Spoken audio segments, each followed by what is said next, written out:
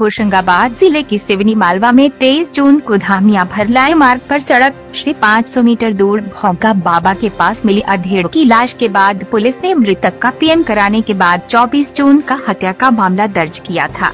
जिसके बाद पुलिस ने जाँच शुरू की तो पता चला कि मामला सुपारी किलिंग का था, जिसमें मृतक मेहरबान सिंह राजपूत उम्र अड़तीस वर्ष, निवासी बिसोनी कला की माँ और भाई ने ही उसकी सुपारी हरदा ज़िले के कुछ लोगों को दी थी। हत्या की प्लानिंग मृतक के भाई की सिवनी मालवा स्थित मोबाइल दुकान पर की गई थी, जिसमें मृतक का भाई एवं माँ सम्मिलित थे।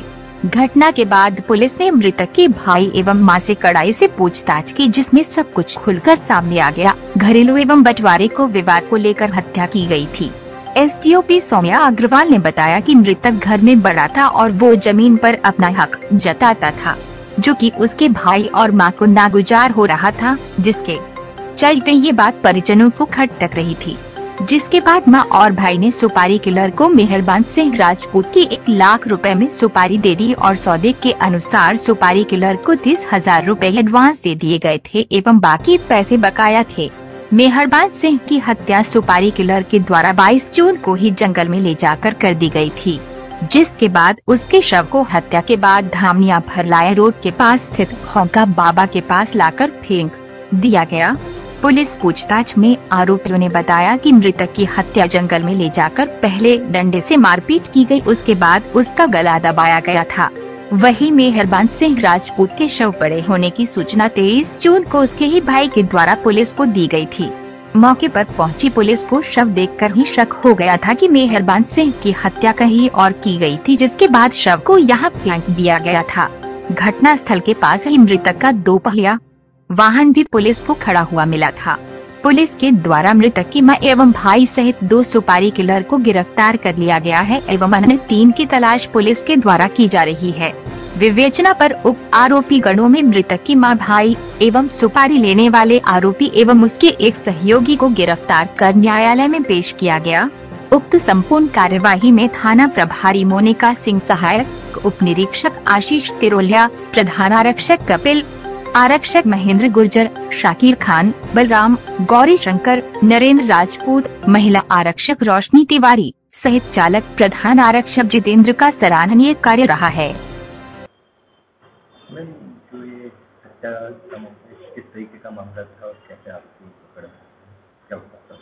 जो तेईस तारीख को पुलिस को सूचना मिली थी कि ग्राम धामनिया के पास में रोड के किनारे एक व्यक्ति की लाश पड़ी हुई है और मोटरसाइकिल खड़ी हुई है तो पुलिस वहाँ पे पहुँची और पता करा तो बिसोनी कला का रहने वाला था, मेहरबान सिंह राजपूत, वो बॉडी उसकी थी और फिर वहाँ पे पुलिस के द्वारा मर्ग दर्ज किया गया, उसके भाई को वहाँ बुलाया गया, उसने उस चीज़ की शिनाख्त भी की और इसके बाद पीएम कराया गया तो उसमें क्लियर हुआ कि उसका मर्डर किया गया है।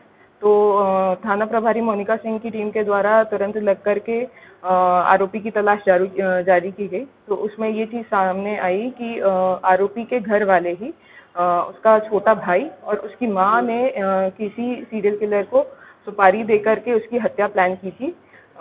जो इनका मुख्यतः घरेलू विवाद का मामला आया सामने कि जो ये बड़ा भाई था ये घर में घर चलाता था और इन, इनका विवाद चल रहा था उस चीज़ को लेकर के। घर वाले इससे परेशान थे और उसी के कारण इन्होंने इसकी हत्या प्लान की। माँ और भाई को गिरफ़्तार करके न्यायालय पेश किया जा चुका है जो सीरियल किलर था। उसके साथ उसको मिलाकर के पाँच लोग थे इसमें शामिल। तो इनको भी जो मुख्य आरोपी है वो और इसके साथ एक और आरोपी दो आरोपियों को गिरफ़्तार किया जा चुका है। उन्हें भी न्यायालय पेश किया जा रहा है। और बाकी तीन आरोपियों की तलाश की जा रही है जो अभी फरार है। मैम, कितने की सुपारी दी गई? थी अभी तीस हज़ार रुपये दिए जा चुके थे बाकी अमाउंट नहीं दिया गया था। हत्या की प्लानिंग जो है कहाँ की गई थी? ऐसा कुछ सामने आया? है? अ, उसके भाई जो था मृतक का भाई वो सिवनी मालवा में जिस उसकी दुकान है यहीं पे सिवनी मालवा क्षेत्र के आसपास ही वो जो था उससे मिलता था और यहीं पे उन्होंने प्लानिंग की थी। हत्या प्लानिंग में सभी का इन्वॉल्वमेंट था? जी, जो मुख्य आरोपी है वो जिसको सुपारी दी दी गई थी और उसकी माँ और उसके भाई दोनों का इन्वॉल्वमेंट है।